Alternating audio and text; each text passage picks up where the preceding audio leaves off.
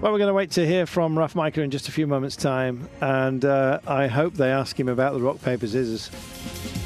Okay, ready? Rock, paper, scissors. All right, it's yours, says Pogačar. oh, dear.